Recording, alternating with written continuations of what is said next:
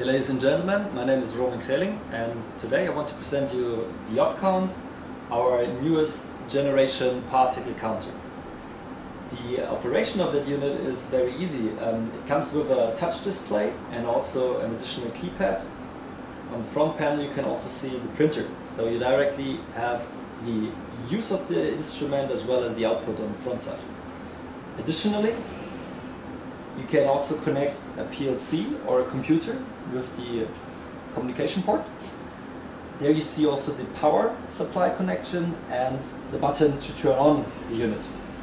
When you look on the back side of the unit, you see the inlet and outlet for high pressure and low pressure connection, as well as a toolbox for the accessories. So the unit comes directly ready for use with all accessories and they can be stored directly at the unit. As accessories you see also the bottles, one time the waste container and also the sample bottle. To demonstrate you the operation of the unit I want to connect the hoses for a bottle sample, what in our regard is a low pressure measurement.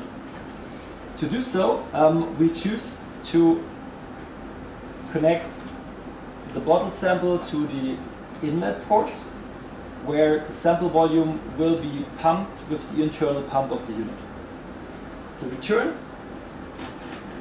we just use the output, that's the high pressure port, and connect it to the waste container. If you do a high pressure sample, you just reverse the two means you take the sample in line from the high pressure line and use that one as the return line to the waste container. But let's just demonstrate how a sample is done. First of all, we start the unit by pushing the on-off button and after a very short time it is ready for operation. You see the start screen and on the start screen you see directly the concentration and also the measurement in particles and the standard that is chosen we select by pushing directly on the button so it's directly able or possible to select an option by pushing at the point where the parameter is shown. The now selected particle uh, class or standard that we are showing um, is the ISO standard and that's the one we want also to demonstrate.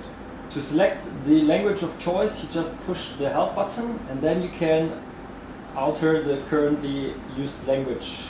We have it in German now, but we want to choose English.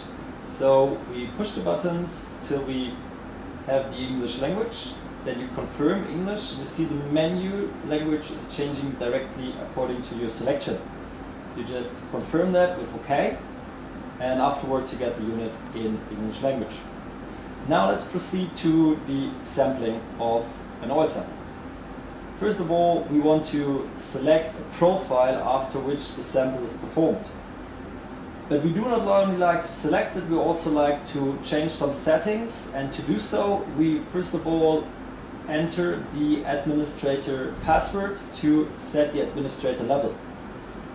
That is intended to protect current settings from misuse or misoperation.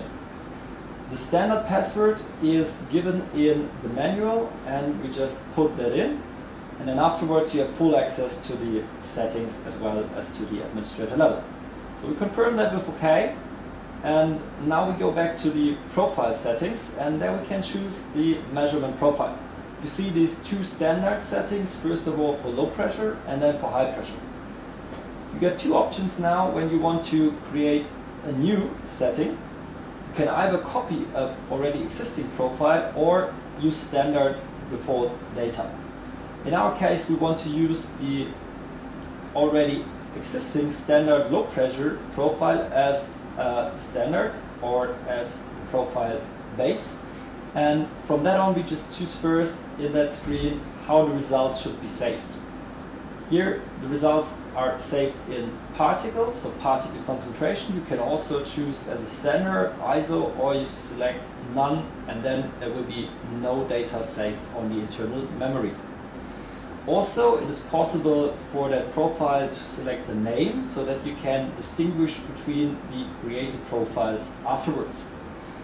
The text that is given on top is just the auto text with a time and date stamp and now we just erase that one and after we erased it we put in test to name that test profile just for our demonstration purpose. Now we got the test profile and want to really change how the measurement is performed. And uh, if you change the measurement settings, you see now that process screen. And on that screen, we have different parameters that we can change. First of all, you see that flow through the measurement. And on that flow chart, the first step is the flushing time. As we want to use a bottle sample, we have to start with a certain flushing time that the hoses are filled with oil. We choose 30 seconds here to be on the safe side.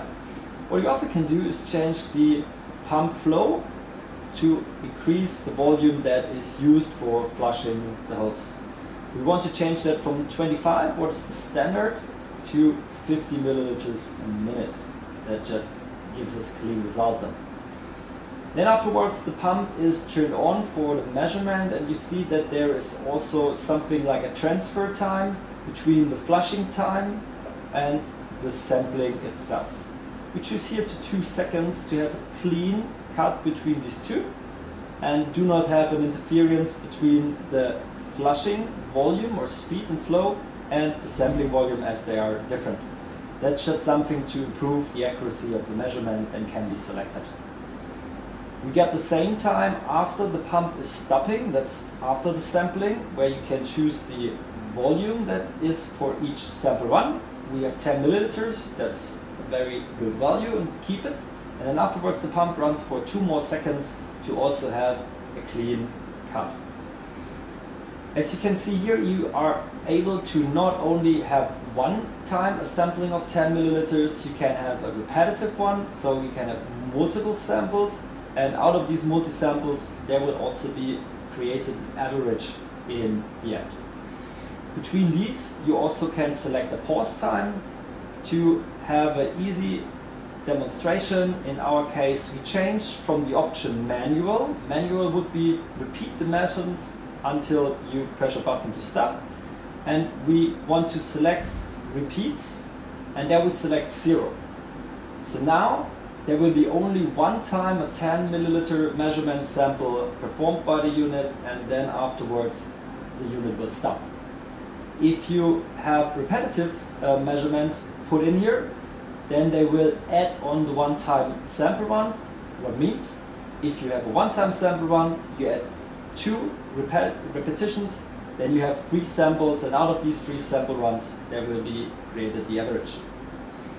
That's one-time measurement and if you want to repeat the complete measurement cycle with flushing and everything else, you have repetitive cycles that you can choose here and that's how you can select a measurement profile on your machine according to the standard result that you need. We just confirm our settings now with OK and we confirm the complete measurement profile once again with OK and now it's saved under the selected name test to return to the measurement menu where we can now start our measurement. Um, you press one time OK and we want to select now that a sample is created. So new sample is the button to start a measurement. And here you have different things you can choose. First of all, you see on top the profile. There is the standard profile, high pressure, that's been used the last time, but we created a new one. So we choose our new created test profile and now you selected that one. You also can enter a serial number, for example, of the machine or the application that you're measuring, as well as service hours or current oil temperature where the measurement has been taken. Also, you have a free space field for comments according to your liking. We keep that open now and just confirm the measurement we start. Another time you are just getting the information how the connection should be done. We have done it exactly in that way. So we take low pressure measurement with sampling from the input and low pressure output is our return. That's how we connect it. So now we push the start button to start the measurement. You can directly see how the oil sample from the sample bottle is pumped to the measurement cell in the unit internally. And uh, while we selected the 30 seconds flushing time, you see that there is a counter um, counting clock backwards. And that's the flushing time marked with the F. And the total time is on the right side, that's flushing time plus pause time plus the measurement time for our sample volume. After the flushing, directly the measurement of the sample volume is starting and you see how the counts in different particle channels are going up. On the right lower side you also see that it is possible to select how the measurement results should be printed out.